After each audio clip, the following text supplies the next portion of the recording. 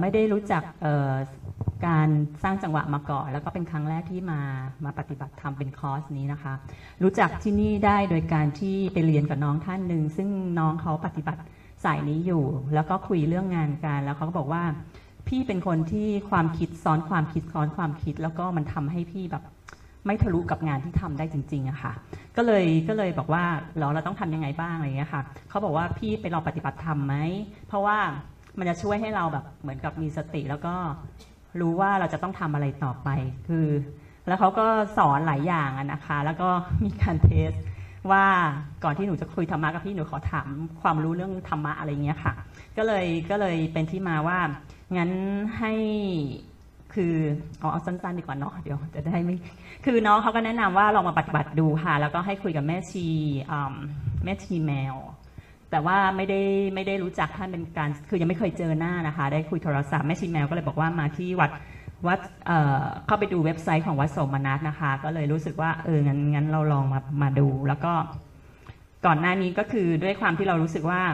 ถ้างานงานหนึ่งที่เราทำแล้วมันทำให้เราสามารถเคลียร์ไอ้ปัญหาหรือว่างานของเราได้ แล้วก็สามารถที่จะทำอะไรให้เราเราทะลุผ่านตรงนั้นได้เราเรายินดีอยู่แล้วอะค่ะ ก็เลยเข้าไปดูแล้วก็สมัครมาที่นี่นะคะ แล้วก็พอเสร็จแล้วเนี่ยก็ดูตารางแล้วก็คิดว่าก็คงเหมือนปฏิบัติธรรมทั่ว ๆ ไป แต่ก่อนหน้านี้ก็คือไม่ไปวัดวัด ที่กรุงเทพอะค่ะ ตรงสนามในเออวัดสนามในค่ะ แล้วก็แถวบ้านใกล้กับมูลนิธิของหลวงพ่อเทียนก็ไปมาท่านก็สอนวิธีการเงี้ยค่ะ ก็เลยก็เลยสมัครมาแล้วก็แม่ชีบอกว่า แต่ว่าที่นี่เขามีสอบด้วยนะไม่ยากหรอกอะไรเงี้ยค่ะ ก็เลยคลิกดาวน์โหลดมาดูแล้วก็ดูว่า โอ้ไม่ยากของแม่ชี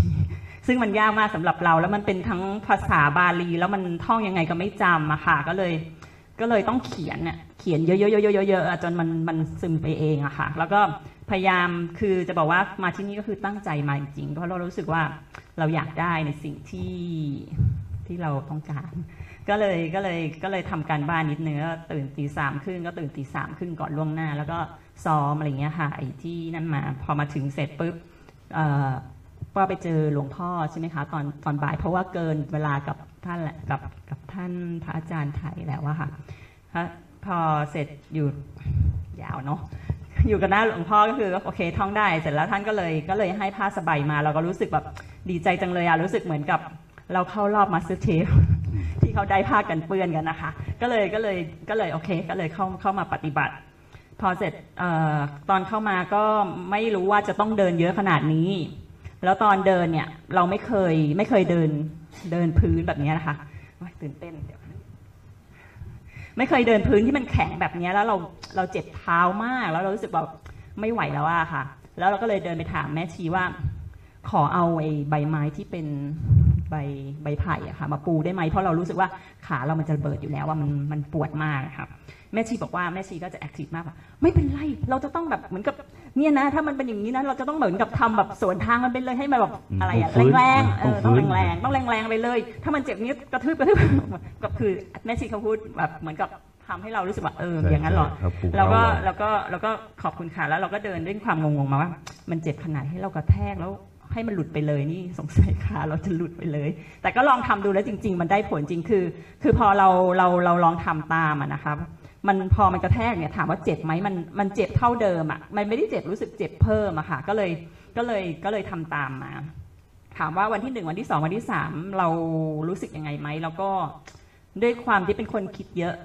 คิดเป็นซีรีส์ยาวมาก คือฟังอย่างฟังพระอาจารย์เนี่ยจะคิดไปต่อต่อต่อต่อต่อประมาณนี้ค่ะ ก็เลยยังยังไม่ได้รู้สึกอะไร แล้วก็ความรู้สึกที่บอกว่า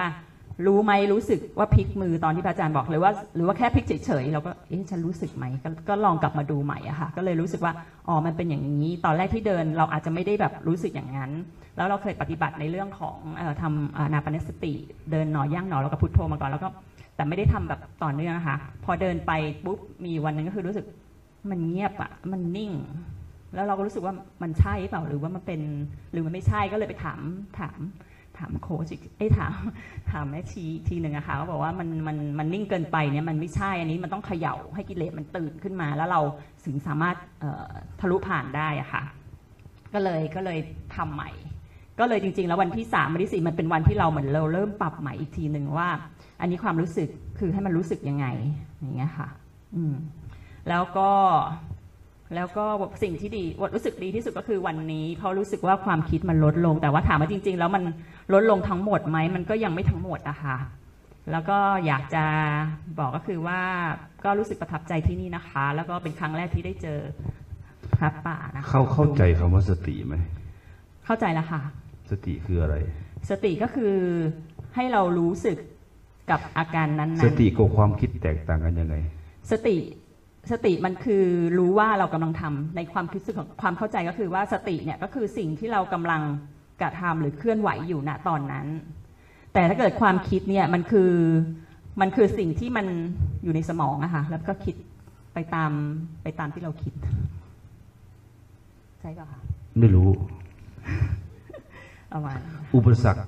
ในการปฏิบัติธรรมของเราคืออะไร ความคิดเราเองเนี่ยค่ะอืมเพราะคิดเหรอ วันนี้ก็ยังก็ยังคิดแต่ว่าลดไปเยอะมันเหมือนเบาความลงความง่วงความเหงาความอะไรไม่มี ง่วงอะค่ะมีก็คือ แต่ว่าไม่ค่อยเท่าไหร่ ไม่ค่อยเท่าไหร่ เพราะมันคิดเยอะ มันคิดเยอะอืมมันเลยง่วงไม่เข้า มันธรรมดา จนจนมีวันหนึ่งเหมือนกันก็ยังถามแม่ชีแม่ชีบอกให้ดูสิว่าอืมเอ่อความง่วงมันหายไปตอนไหน มันก็ไปตอบอีกวันหนึ่งว่า ความง่วงมันหายไปตอนตอนหนูคิด แล้วแม่ชีบอกว่ามันไม่ใช่ก็คือก็คือเราเข้าใจผิด คือมันอาจจะเป็นเพราะช่วงที่เราคิดความง่วงมันก็เลยหายไป วิธีการแก้ง่วงส่วนตัวคือว่าปกติเนี่ยจะเดินยาวอย่างนี้ใช่ไหมคะ เราจะไม่ได้เดินยาวอะค่ะ เรารู้สึกว่าเราจะต้องเร็วกว่าไอ้ความง่วง ก็จะมาวิ่งมาเอ่อเหมือนกับเดินเร็วๆเร็วๆมาครึ่งทางแล้วเราก็จะหมุนตัวกลับทันที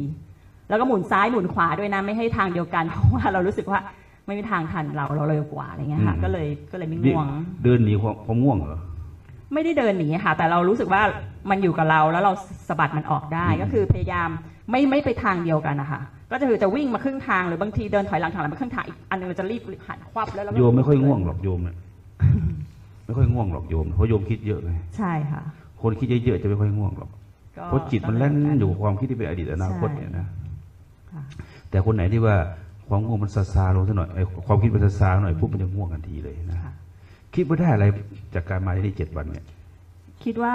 อืมสิ่งที่ได้ก็คือว่า เราได้รู้รู้ว่าพระพุทธศาสนาเนี่ยเราสามารถที่จะไปถึงขั้นสูงได้เหมือนพระพุทธเจ้า ไม่เคยคิดมาก่อนว่ามันจะมันจะมีวิธีการได้แบบนี้ค่ะ หนักไหมปฏิบัติธรรมไหมปฏิบัติธรรมหนักไหมคิดว่าหนักไหมนี่ที่ทำหลักสูตรเนี่ยหลักสูตรเนี่ยถ้าเป็นคนใหม่ที่ไม่เคยปฏิบัติมาก่อน จริง ๆ ปฏิบัติมาก่อนก็คิดว่าหนักเหมือนกันนะคะ เพราะว่าไม่เคยต้องต้องเดินเยอะขนาดนี้ แต่ก็ทราบเหตุผลว่าทำไมเขาต้องให้เดินเยอะขนาดนี้แล้วอืค่ะมอืม เพราะอะไรถึงให้เดินเยอะ ก็ถ้าเราไม่เดินเยอะมันก็จะไม่รู้ว่าสิ่งที่จะมามาเอ่อทำให้เรา การที่เดินเยอะเนี่ยมันมันเหมือนกับว่าเป็นการทำให้กิเลสทั้งหลายเนี่ยค่ะสรุปมันแสดง่ายงตัวๆสมารุปง่ายๆคือที่ที่ให้เดินเยอะเพราะอะไรเพราะอะไรรู้ไหมเราเดินเจ็ดวันนะแทบจะไม่รู้ด้วยซ้ำไปว่าเรารู้สึกตัวกี่ครั้งแล้วซ้ำไปอืมใช่ไหมค่ะเดินไปเจ็ดวันเนี่ย กี่ก้าวเนี่ย กี่ล้านก้าวเอา รู้สึกตัวกี่ครั้ง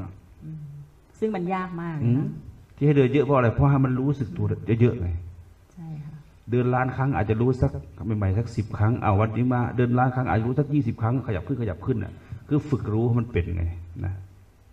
ท้ายที่สุดนี้อยากจะฝากอะไรท้ายที่สุดนี้ก็คืออยากจะบอกว่าเอ่อสิ่งที่สิ่งสิ่งที่ที่เราจะได้รับจริง ๆ จากตรงเนี้ยมันเอาไปใช้ได้กับชีวิตเราตลอดนะคะ ไม่ว่าจะเป็นปัญญาหรืออะไร ก็อยากจะให้ เอาตัวเองก็คือก็คืออยากจะเอากลับไปปฏิบัติให้ได้ทุกๆวัน แล้วก็พยายามทำให้ได้จนกระทั่งเราบรรลุในสิ่งที่เราเราคิดนะคะ